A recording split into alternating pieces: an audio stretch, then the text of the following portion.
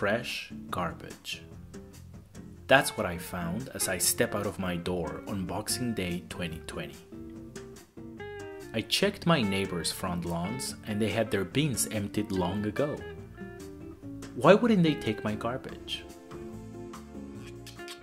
It brought back all those memories living in Japan and feeling constantly inadequate trying to throw stuff out, mostly because there were at least five categories.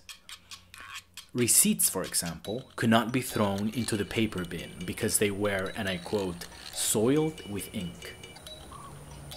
I once created a scrapbook to track my groceries and calorie consumption.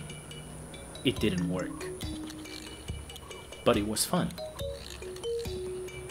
I have tons of different notebooks to track all kinds of stuff, where I'd scribble ideas and experiment with amateur drawings. My favorite subjects were religious or political leaders, and my friend Takeshi Matsumoto.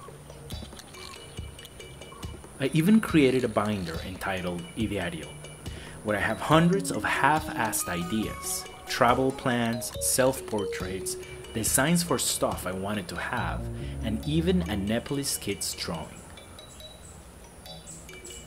Moving to Canada was a welcome change in regards to trash, as there are only three categories that I know of compost, waste, and recyclable but I made the mistake of putting out the recycle bin instead of the waste bin.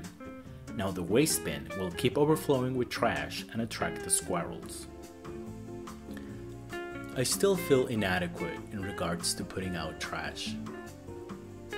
Next week, there's gonna be more fresh garbage out there in the world, and hopefully, less empty pages in my scrapbooks.